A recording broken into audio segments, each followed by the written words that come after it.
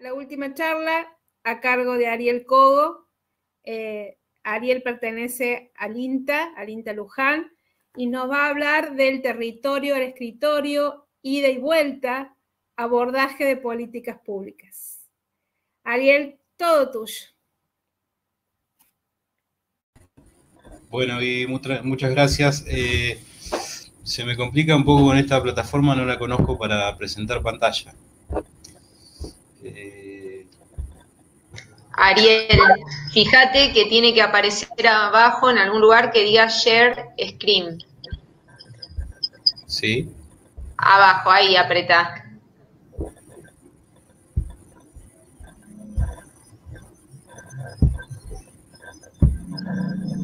Ahí se ve. Ahí, a ver. Para que yo tengo. Sí, ahí va. Ahí, te... ahí está. Ahí se ve. Bueno, perfecto. Vamos a ir medio rapidito, así compensamos todos los contratiempos y terminamos horario. Eh, la idea de esta charla es, eh, bueno, que charlemos un poco de, políticas públicas, pero desde el abordaje que le damos y, y la potencialidad que creemos que tiene el CIAP como, como centro de información de actividades porcinas, eh, no meramente como una, como una página web, como a veces se la, se la identifica, sino como mucho más. Eh, si termino la charla eh, habiendo dejado al CIAP en el radar del abordaje territorial en el sistema agroalimentario porcino nacional, ese sería un poco el objetivo.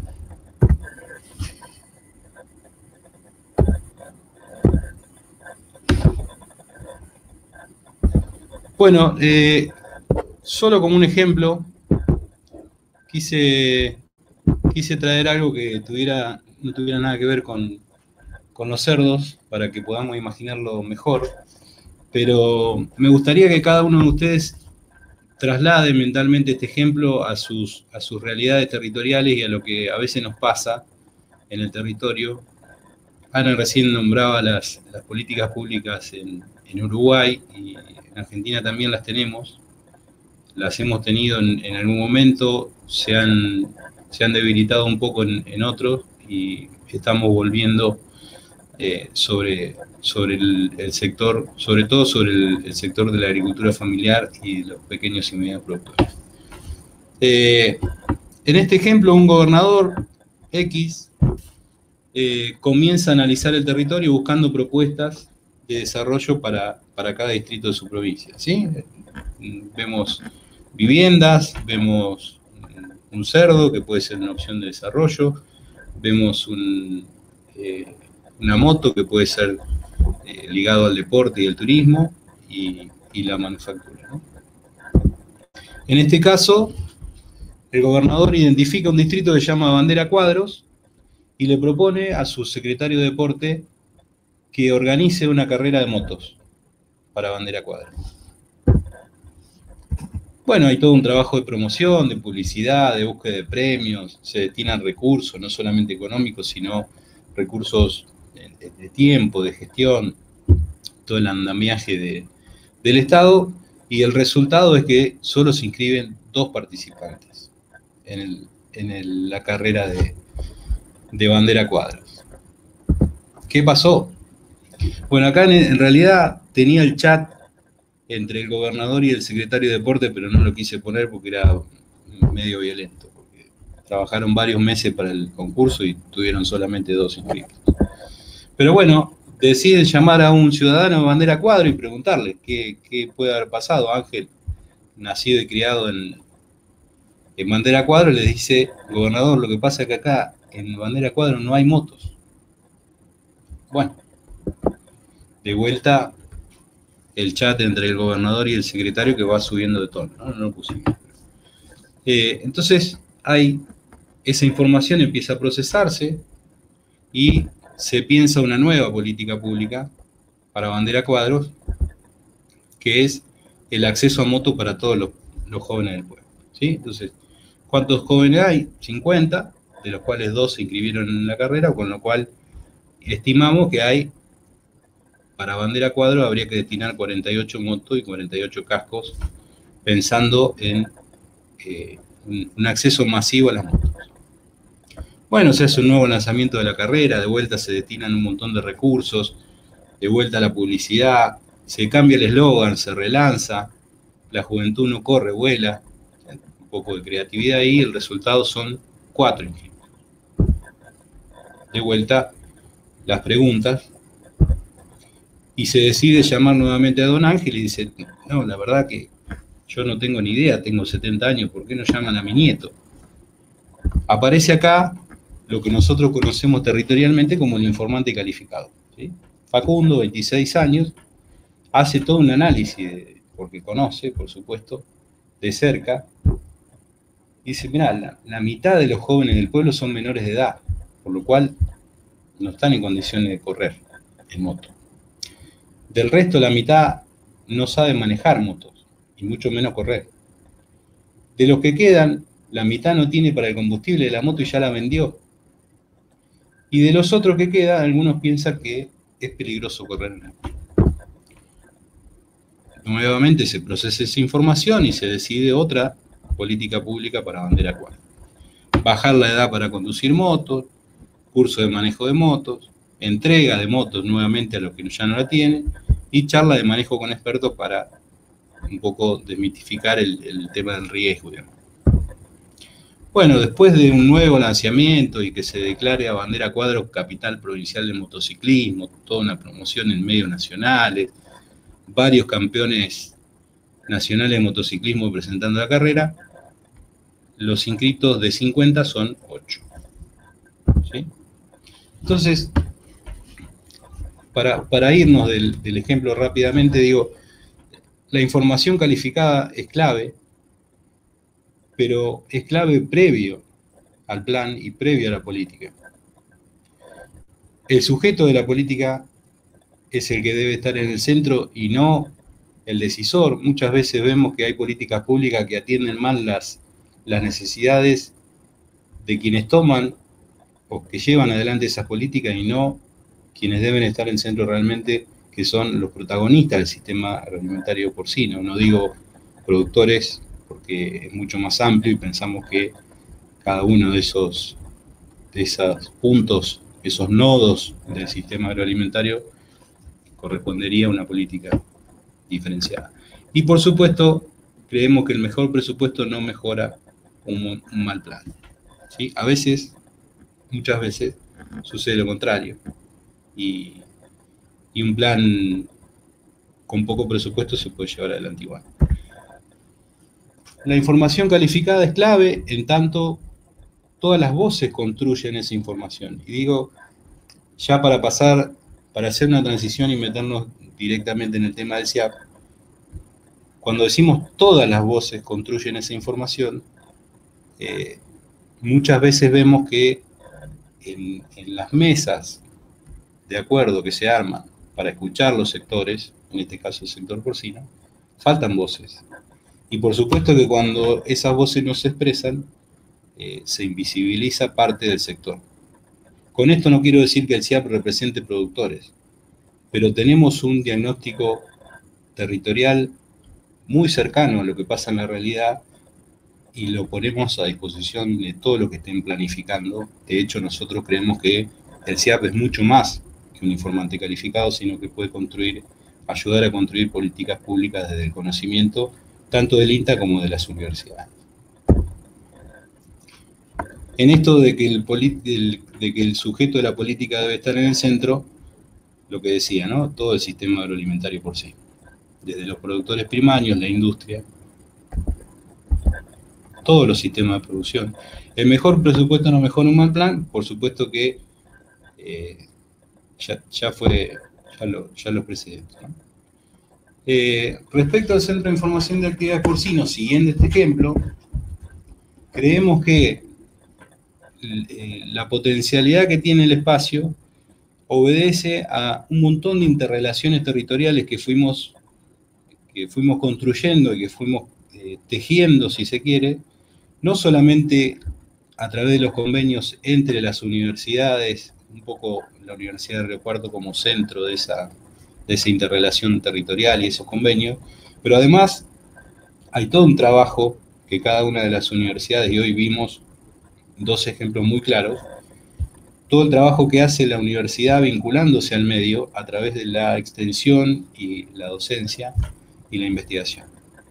Y por supuesto las redes de información que son eh, los últimos proyectos que ha puesto en marcha el CIAP, por ejemplo Wikipedia, eh, en la cual tenemos centrado eh, bastantes esfuerzos para, para que sea una cosa más que ofrezca el CIAP en su, en su menú. Bueno, lo que decía, la, la, extensión, la docencia y la asistencia técnica, la información actualizada, ¿sí? Nosotros, eh, el sistema de información pública del, del CIAP se actualiza permanentemente, tiene un, tiene un cúmulo de información a través de, su biblioteca de materiales enorme y de variados temas. Y, por supuesto que todo esto que estamos hablando es información pública, con lo cual eh, en esto que, que hablaba al principio de la interacción, bueno, eh, Milagros cuando se retiraba decía la importancia de la articulación público-privada, ¿no? Eh, el CIAP es una entidad pública, lamentablemente hoy no tiene financiamiento estatal, pero creo que va camino a tenerlo porque hemos, hemos trabajado para, para visibilizar mucho el espacio últimamente. Por supuesto, estamos generando conocimiento permanentemente. Uno de los ejemplos es el, grupo de modelos, que estamos, estamos generando conocimiento e información permanente de temas tan sensibles como son los costos de la producción. Por supuesto, la, formación y actualización técnica con, todo lo que es el trabajo de, curso a distancia, que es un, valor enorme que tiene el CIAP en, tener ajustado en esta, en esta situación de pandemia. Hoy pareciera que todo pasa por la virtualidad, pero nosotros, eh, mucho antes de esta situación impensada, por supuesto, eh, veníamos desarrollando toda una, actividad de manera virtual, con lo cual tenemos ahí una, una expertise que también la ponemos a disposición. Por supuesto, las herramientas de gestión las puse a último porque siempre se roban todo el protagonismo, CPPS y, SAP, pero en realidad son un poco la parte de la columna vertebral de, nuestro espacio. Y los nuevos instrumentos de análisis de información que eh, vieron al, comienzo de la charla, lo que está desde el comienzo, todo lo que es eh, georreferenciación, que nos parece súper interesante de, mantener eh, eso disponible públicamente para que lo pueda ser usado para, para llevar adelante cualquier análisis del territorio o, una política pública. ¿Cuáles son los, aportes concretos que podría hacer el CIAP rápidamente en, en un esquema de decir, bueno, a ver, que, proponen, yo creo que masificar los medios, eh, el sistema, los sistemas de información gratuitos que, tiene el CIAP eh, generaría un impacto enorme en, el territorio, estoy convencido. Conozco muchos productores que lo usan y hoy no es, no es tan simple eh, conseguir sistemas de gestión que funcionen y que, y que sean gratuitos, por supuesto. Pero además más allá del sistema, eh, está todo el soporte que hay detrás de ese sistema, que lo hacemos nosotros con, mucho, con, mucho de artesanal y con mucho, mucho compromiso, que me parece que es el que termina dando el plus a esos, a esos sistemas de información que son gratuitos y que la verdad eh, tenemos, eh, creemos que tienen mucho más potencial del que están expresando. Queremos que mucha más gente por eso hablo de masificación. Contribuyen a la circulación de saber y la vinculación de actores en, el desarrollo. Creo que es un poco democratización, es, la palabra para decir que me parece que el CIAP es un, es un espacio ideal para que esa información y esa circulación de saberes se mantenga al alcance de todos, más allá de, la escala o, de la accesibilidad que tenga cada uno. Y por último, en la territorialidad propiamente dicho, cooperar con el sistema de, asistencia técnica que lo nombró la compañera Uruguay, Eh, creo que leí algo entre líneas de, lo que habló Abelardo al principio y yo quiero remarcarlo. Para mí para, y para muchos de nosotros eh, es el problema de la agricultura familiar y el pequeño productor porcino en la Argentina y en Uruguay, la falta de asistencia técnica que no se puede pagar muchas veces, que en algún momento hubo políticas para que accedan a asistencia técnica de manera colectiva, a través de grupos. Cambio Rural era, un gran programa. Y que hoy eh, estos productores, como todos ustedes saben, no son atractivos comercialmente para, para muchas empresas, que son las que están en el territorio brindando asistencia técnica detrás de una bolsa de núcleo, detrás de una vacuna, detrás de una instalación. Pero la, enorme diferencia con la asistencia técnica eh, estatal, si se quiere, es que el técnico del INTA, el técnico de la Secretaría de Agricultura Familiar, el técnico de, una Secretaría de Agricultura Familiar de provincia, no lleva nada bajo el brazo cuando va a golpear las manos a la tranquera. Por eso tenemos la enorme bendición de la confianza de los productores que cuando aparece una camioneta del INTA en la tranquera de la chacra somos siempre muy bienvenidos porque detrás de eso no hay una venta. Entonces tenemos la libertad absoluta de decir, mira, esto que estás haciendo realmente te está, te está desbalanceando los, los costos de ingreso de tu granja por esto, por esto, por esto. Por ejemplo, el CIAP en eso tiene muchísimo que aportar con asistencia técnica permanente porque lo puede hacer a distancia. En este momento ya hemos logrado una, gimnasia tal que muchos bueno, la charla de hoy es un ejemplo, hay mucha gente conectada de muchos lugares del país. Podemos estar llegando con un curso a, no sé, la red de técnicos de, la Secretaría de Agricultura Familiar Campesina e Indígena tres veces por semana, por ejemplo. Nos podemos dar ese lujo, sin movernos de, Río Cuarto, de Luján o de Marcos Juárez. Entonces, creo que, que el CIAP debe empezar a estar en el radar de un montón de decisores y funcionarios que yo por eso puse un, ejemplo que no tiene nada que ver con cerdo, eh, muchas veces nos pasa que la información calificada se pide después de haber puesto en marcha una política pública que lleva un montón de recursos, insisto, no solamente de, tiempo, de, de dinero que a veces falta, sino de recursos de todo tipo. Bueno, por último, eh, quiero dejarle una frase que me pareció genial. No es suficiente soñar fuerte, además hay que trabajar duro, acumulando un conjunto de detalles que harán finalmente que un día cualquiera las cosas sucedan. Bueno, hasta acá mi charla, que era bastante más larga, pero decidí hacerla lo más rápido posible porque quiero interactuar no solamente con los que están en, YouTube, sino que mi compañero del CIAP me gustaría que, podamos abrir los micrófonos, interactuar y, de hecho me gustaría saber si me estuvieron escuchando, porque... Ariel, ¿cómo estás? Gracias por tu presentación. Eh, una pregunta que quedó antes, que a lo mejor estaría bueno a ver si vos la podés responder.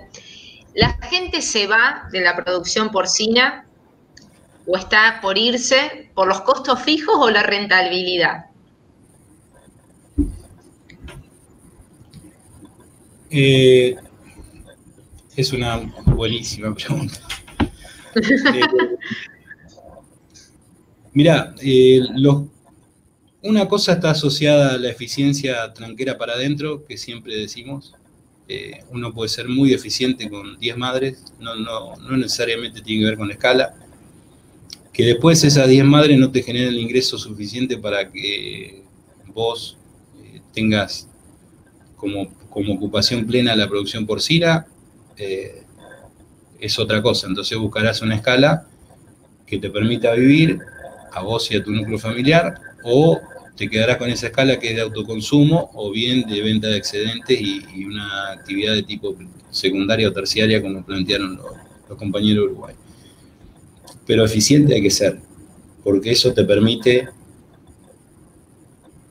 ligado a costos, hacer una buena, una buena relación costo-producto. La rentabilidad tiene que ver con lo que vos hagas tranquera para adentro, pero también tiene mucho que ver con lo que pase tranquera para afuera. Y no hablo directamente de, que el productor no puede manejar los precios, eso ya lo sabemos. Eh, no, no, me refiero al precio del, producto, sino más bien de los insumos. Pero sí puede hacer mucho para, para asociarse con otros que tengan la misma... Asociarse es una palabra enorme, pero cuando le decimos asociarse a los productores nos miran como eh, pero sí, eh, no, me parece nada de, mayor complejidad, por ejemplo, plantear una compra en conjunto de, insumos, que no necesariamente son los de alimentos, que son más difíciles, porque cada uno, pero sí de núcleos, sí de, elementos sanitarios, sí de... Lo hemos hecho, en, en algún momento hemos planteado compras de botiquines. Hay un montón de cosas que se pueden hacer tranqueras para afuera para que para mejorar esa rentabilidad habiendo trabajado tranqueras para adentro con eficiencia. No sé si iba por ahí la pregunta, pero me gustó ir por ahí. Bien, Ariel, gracias. Otra pregunta dice, ¿cómo articulamos todo el proceso en la cadena para que también entendamos la industria y la comercialización? Bueno, es, casi una obligación que, tenemos, tratar de articular todo, que no sean eh, partes diseminadas, porque si, nosotros no logramos eh, integrar todo el, todo el sistema agroalimentario, incluso pensando en un eslabón que, muchas veces no lo pensamos como, como, parte del sistema, que es el consumidor. Eh, el productor, por ejemplo, eh, el productor es el primer consumidor de lo que produce, por lo menos el, productor de la agricultura familiar y el pequeño y mediano productor es, algo que no tenemos muy visibilizado. Entonces, me parece que mentalmente primero tenemos que hacernos la idea de que es un sistema, realmente, que cualquier pieza que toquemos en el sistema repercute en el, resultado de todos, y que, bueno, habrá que pensar que, que, nos podamos sentar en una mesa todos los que formamos parte del sistema.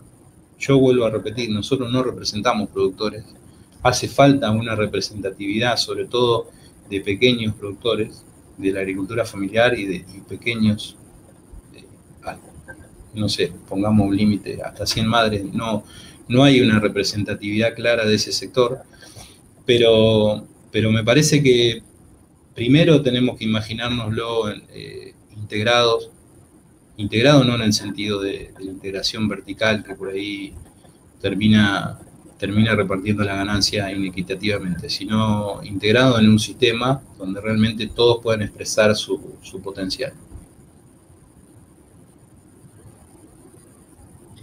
Bien, Ariel. Acá plantean también que es necesario poder pensar articuladamente las políticas públicas y las tecnologías, procesos y productos como todos los actores involucrados. Eh, no sé si quiere hacer alguna otra, eh, alguna otra explicación, Ariel, algún otro comentario. Si no, la incorporo a la pantalla a Patricia Silva para que se sume. No, no, de mi parte me encantaría escuchar a otros compañeros porque es, la idea era eh, poner en, el radar al CIAP como, un espacio de referencia que me parece que es lo que, lo que, lo que tiene que ser. Bien. Bien, acá por el chat Ariel eh, plantea, Rubén, eh, aplaudo la labor de compañeros que hacen más grandes estos espacios públicos de universidades del INTA, comprometidos con la sociedad. Rodolfo Brown eh, plantea muy interesante esta charla, la dimensión integral y la sociabilización de los saberes, experiencias, asistencia al productor y soberanía popular para apropiarse el conocimiento. esos son algunos aportes de algunos otros integrantes de, del CIAP. Así que bueno, si hay. Sí, yo por ahí también te felicito. Perdón, Patri. Dice Rubén. No, no, eh, era, era sumar y. Dale, dale. Revalorizar el proyecto del CIAP con, como experiencia interinstitucional e interdisciplinaria para dar respuesta desde espacios públicos a problemas territoriales en países de la región. Plantea Rubén Suárez.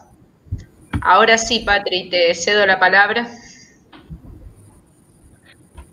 Sí, No, no, totalmente de acuerdo con todo el equipo del CIAP, que tenemos siempre esa frontera eh, y esos objetivos para poder lograrlo y totalmente de acuerdo con tu charla, que para poder este, darle voz a los que siempre, digamos, no tienen voz, la única forma es tratar de, juntarnos entre todos, entre, entre todo el, sistema agroalimentario porcino, eh, no ser este, islas sino que vincularnos, interactuar y, lograr este, eh, actividades que puedan llevar adelante y fortalecer esas gestiones. ¿no? Así que eh, me parece muy, muy bueno los aportes de, todo el grupo y, tu charla también. Eh, por ahí voy cerrando, no sé Ariel si querés decir algo más, si no cerramos, este, doy un cierre de, agradecimiento. agradecido de, de haber de, formado parte de esta jornada técnica que en realidad está enmarcada en el doceavo encuentro eh, anual del CIAP, que bueno, para mí tiene, tiene un sabor muy especial porque el CIAP es un espacio que, que abrazo en, todo sentido. Me parece eh, fundamental que podamos engrandecerlo y, seguir ampliando. Eh, lo de las compañeras de Uruguay hoy fue un aporte de enorme valor y me parece que, tenemos la tarea de seguir engrandeciéndolo y seguir ampliando la participación. Seguro. Yo le quiero dar las gracias eh, a todos por la participación y que sepan disculpar, digamos, todos los inconvenientes que ocurrieron. Eh, bueno, no lo teníamos ni pensado eso. Eh, nos acompañaron muchísimos compañeros de diferentes lugares del país, de zonas remotas, eh, por ahí veía de Jujuy, de lugares muy, muy chiquititos, y cómo esto, si bien la virtualidad tuvimos algunos problemas, cómo nos acercó para poder, este, digamos, eh, interactuar con estos compañeros. También de Uruguay y de otros países. también queremos agradecer a, a todos aquellos que nos acompañaron durante todo el año y muchos desde que iniciamos el CIAP del año 2007 eh, que estuvieron presentes en, estas charlas.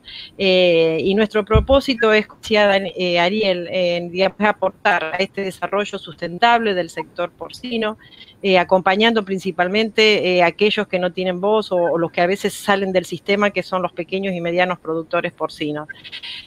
bueno, nada, los invitamos a seguir acompañándonos y a sumarse al CIAP, porque el CIAP es de todos. Bueno, abrazo grande para todos. Bueno, agradecemos la participación y un saludo, un abrazo para todas y todos y eh, esperamos volvernos a encontrar eh, presencialmente eh, muy pronto, por favor. Así que saludos. Gracias a todo el equipo y gracias a toda la gente. Gracias. Nos vemos. Gracias a todos los que nos acompañaron.